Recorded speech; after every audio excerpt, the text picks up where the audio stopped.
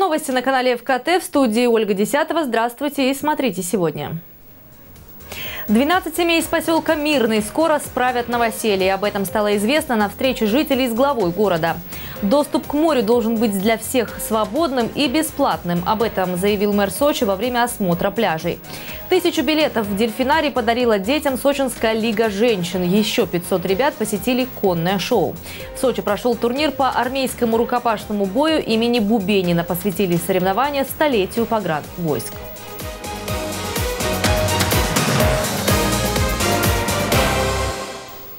Контрольный час для чиновников. Как исполняют поручения губернатора Кубани, проверили накануне в краевой администрации. В аутсайдерах оказались сразу несколько муниципалитетов. Это Краснодар, Лабинский, Темрюкский и Гулькевичский районы. В последнем затянуты сроки по исполнению целого ряда поручений. Например, в одной из участковых больниц с 2016 года никак не могут начать ремонт. Деньги на эти цели предусмотрены в краевом бюджете, однако местные власти так и не подготовили проектно-сметную документацию.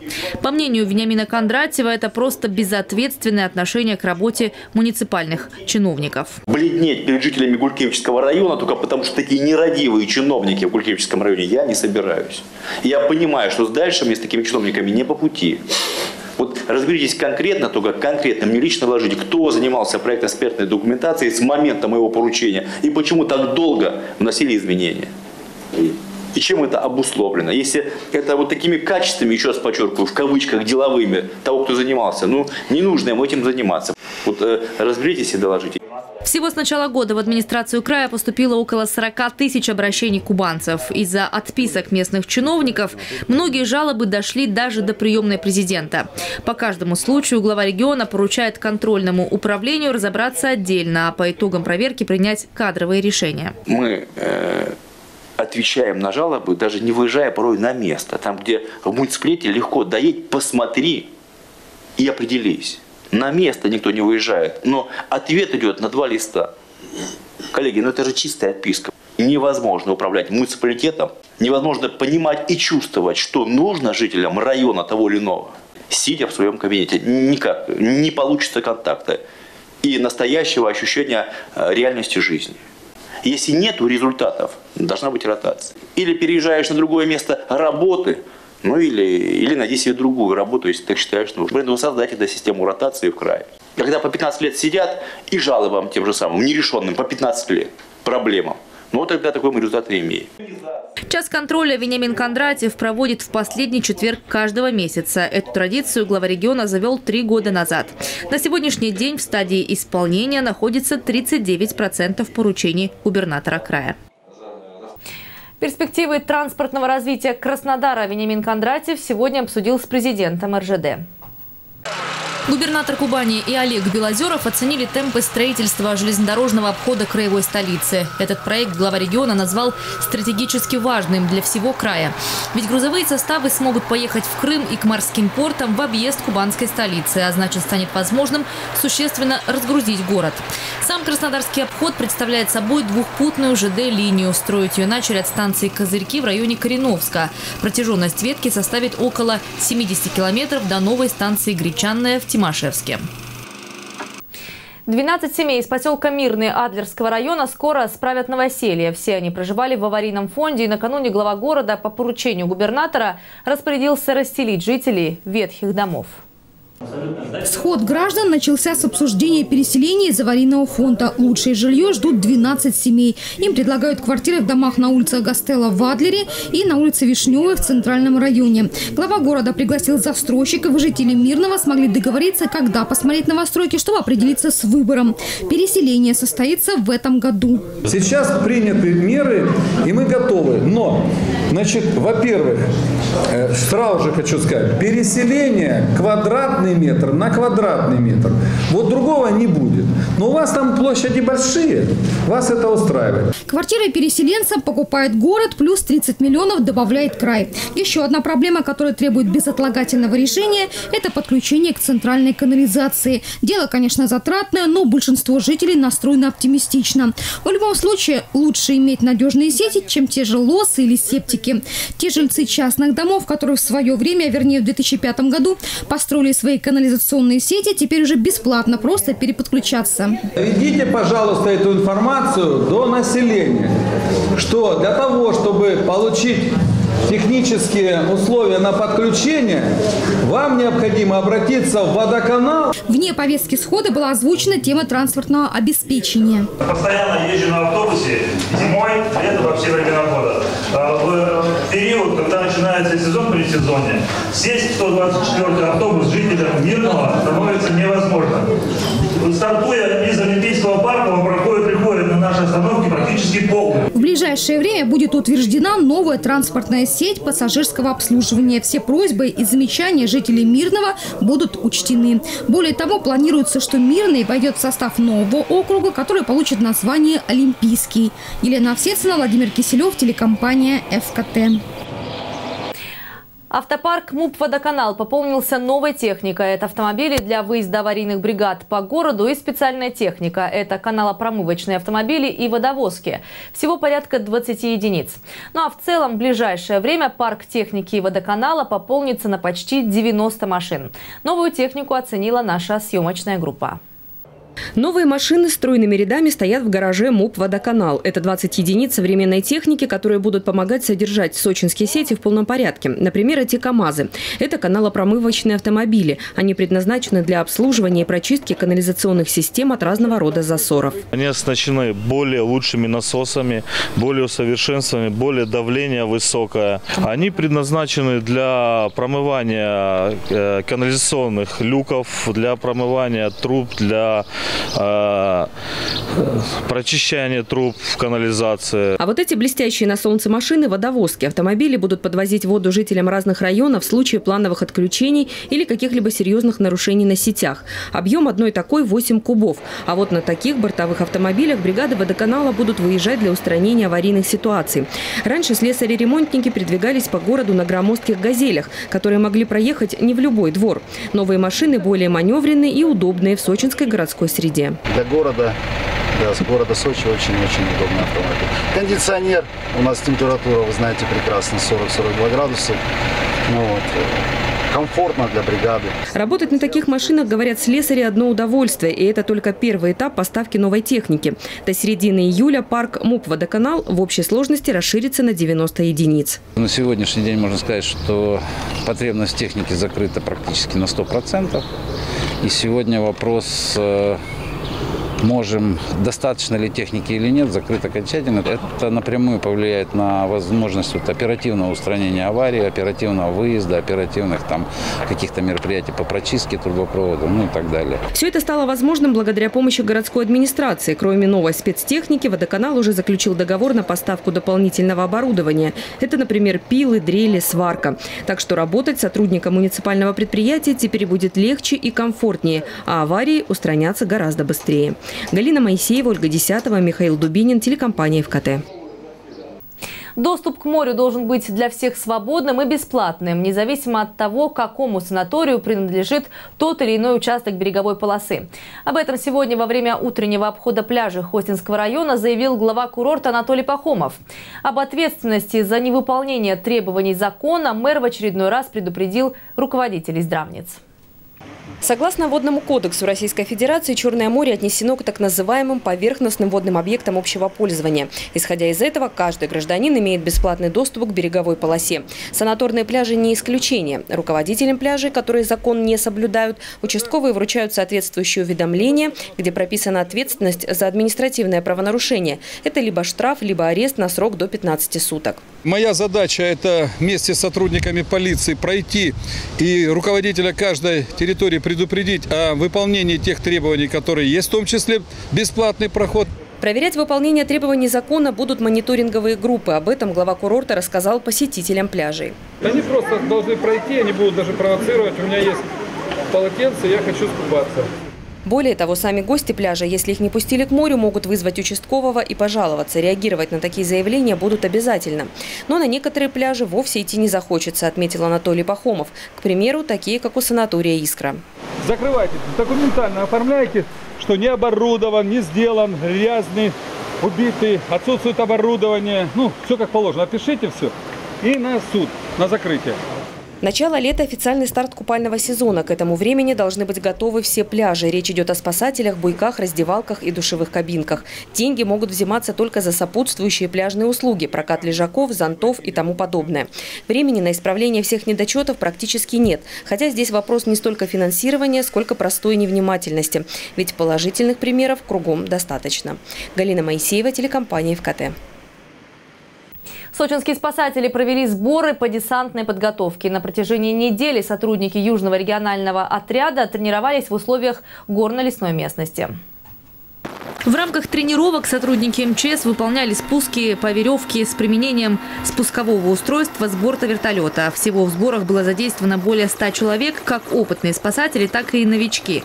Спуски выполнялись с высоты 10 и 30 метров. Отрабатывали десантирование на сухой участок русла реки, а также подъем пострадавшего в носилках на борт воздушного судна.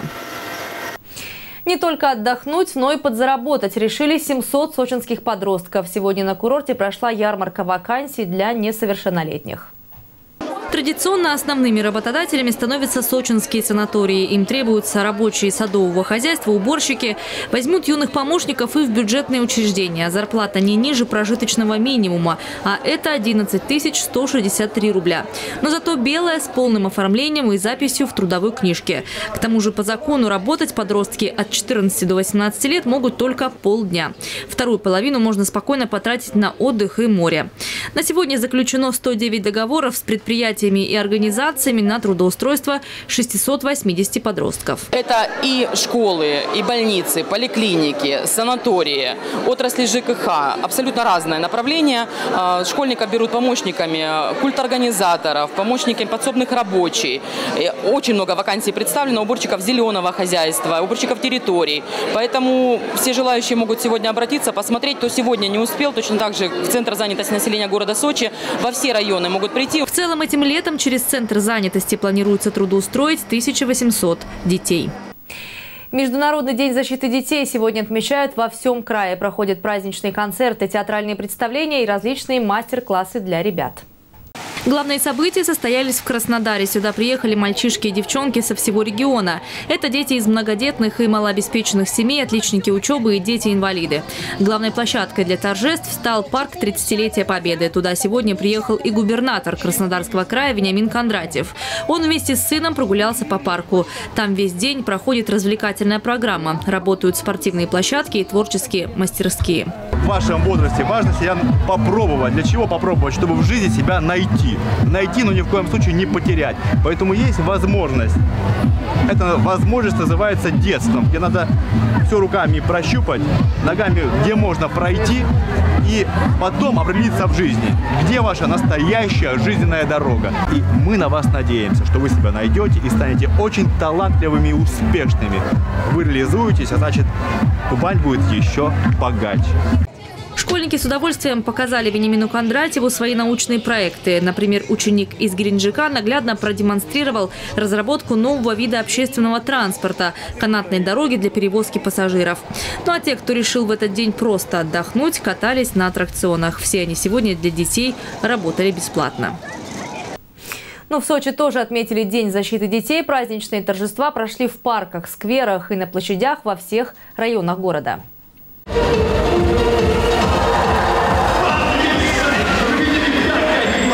Уже по традиции виновников торжества ждали в Большом Сочинском дельфинарии. Приглашение посмотреть шоу получили дети с особенностями здоровья и их родители, а также малоимущие многодетные семьи из всех районов курорта. Тысячу билетов им подарила общественная организация «Лига женщин Мост добра», которая, кстати, сегодня исполняется 8 лет. Мы э, те программы, которые ведем с первого дня э, своей организации, они у нас выполняются. Это уже традиция. Они у нас есть. Это и школьная форма, это и новогодние подарки, елки мэра, это и хрустальный петушок, это вот 1 июня. Но мы уже охватываем и целые центры, которые у нас создались с этими детьми э, с, всевозможными болезнями. И то, что уже мы задействуем и деток обычных города Сочи. То есть у нас все в городе Сочи равны и полноценны. А почти 500 юных сочинцев с аутизмом сегодня получили приглашение посмотреть шоу в конном театре «Парк Ривьера». Кстати, многие дети при помощи Лиги женщин стали заниматься ипотерапией.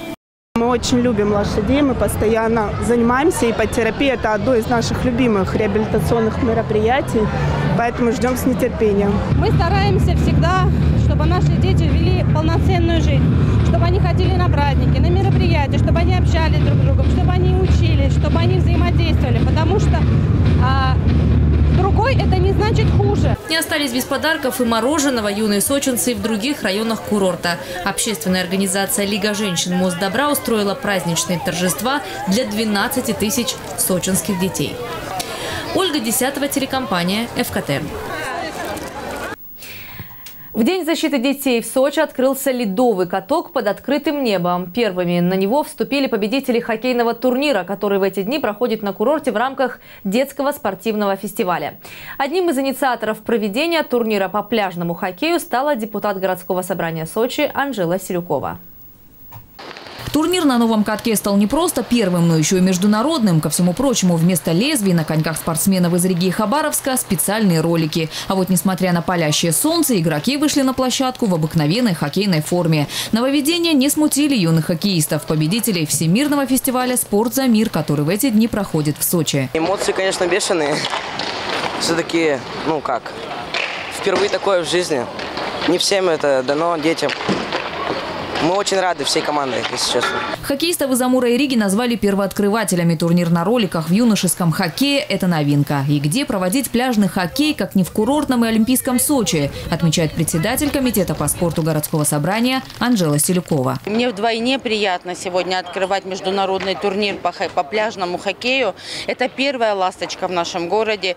Это первый искусственный каток а, в летний период. И я надеюсь, что такие турниры будут проходить регулярно регулярно. Это э, приятно, потому что мы в нашем городе собираем все самое лучшее, что можно вообще придумать для себя. А так, конечно, хочется пожелать нашим детям добра, созидания, новых побед. Поздравила сочинский депутат сегодня и всех детей своего округа. По многолетней традиции для юных адлерцев, находящихся в трудной жизненной ситуации, из малообеспеченных и многодетных семей, для детей-инвалидов Селюкова организовала в районном кинотеатре «Комсомолец» бесплатный просмотр мультфильма. Вообще этот депутат оказывает оказывает э, постоянную помощь и управлению соцзащиты, и детскому центру нашему реабилитационному Адлерскому. Если бы у нас побольше было таких депутатов, то наши дети, конечно, их было бы меньше в трудной жизненной ситуации. Ей, конечно, огромное спасибо. Подарок в свой день оценили и главные герои для детей. Поход в кинотеатр оказался самым долгожданным подарком. Очень сильно понравилось. И денег даже не надо давать, чтобы в кинотеатр идти. Здорово, что мы на таком большом экране сегодня посмотрим мультики. А посмотрели ребята российскую премьеру мультипликационный фильм «Два хвоста». Историю о невероятных приключениях друзей, кота и бобра. Инга Габеша, Алексей Давыдов, телекомпания «ФКТ». Летний курортный сезон аквапарк «Амфибиус» традиционно открывает в День защиты детей. По многолетней традиции обновленные бассейны опробовали школьники Адлерского района. Вот уже 13-й год подряд открывать летний сезон «Амфибиус» поручает школьникам. В этом году в День защиты детей аквапарк посетили около 400 ребят. Это отличившиеся школьники, участники творческих ансамблей, дети из Адлерского реабилитационного центра, а также из малообеспеченных и многодетных семей. Эту традицию генеральный директор «Амфибиуса» Алла Татулян считает главной в аквапарке. Дети Северно-Адлерского района, все школьники, которых мы сегодня пригласили, для вас сегодня создан большой праздник. Сегодня День защиты детей. В каждой семье у нас есть дети. Мы все мамы, все папы. Но у нас есть дети, наше будущее. И сегодня их праздник. Поэтому я сегодня пригласила детей, чтобы, чтобы они чувствовали себя здесь просто королевами все. И принцами. С праздником! День защиты детей! Ура! Сегодня в амфибиусе представители каждой адлерской школы. Отметить свой праздник ребята пришли целыми классами. Здесь весело, и есть теплые бассейны, холодные и для детей. Да. И детям можно поплавать, и взрослым. Я тут еще никогда не была, и это мой первый раз, мне здесь понравилось. Спасибо, Спасибо вам большое, амфибиусу, что вы нас приглашаете бесплатно. Где детскому празднику в амфибиусе провели небольшую реконструкцию. Обновили фасады зданий, сменили плитку. Сами же юные гости не просто окунулись в водную феерию, а стали участниками увлекательного приключения и пиратских испытаний. Как обычно, перед купанием ребят развлекали аниматоры. А для всех гостей выступили творческие коллективы Адлерского района. Праздничную атмосферу в аквапарке создавал народный хореографический ансамбль «Роква». Он также является участником благотворительной программы, которую ведет руководитель амфибиуса. Человек года, победитель номинации «Добрые люди» Алла Татулян. Благодаря ее поддержке юные танцоры приобретают необходимые для выступлений костюмы. Ну а следующая встреча в аквапарке «Амфибиус» в рамках благотворительной программы 1 сентября, в День знаний. Традициям здесь не изменяют с момента открытия. Инга Габеша, Алексей Давыдов, телекомпания «ФКТ».